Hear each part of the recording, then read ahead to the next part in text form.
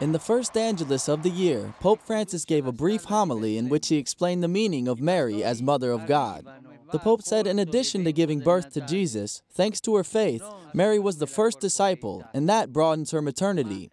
Come madre, Maria svolge una funzione molto speciale.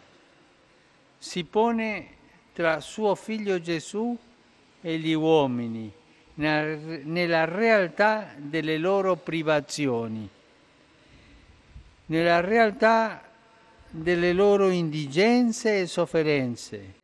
As it was the World Day of Peace, the Holy Father asked governments to be generous to migrants and refugees who escape their countries in search of peace.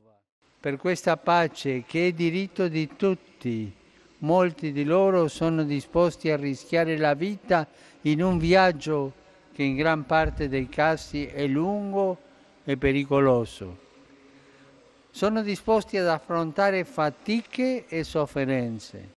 Despite the cold, it was a feast day in Italy, and many people still gathered in St. Peter's Square, at least 40,000 of them.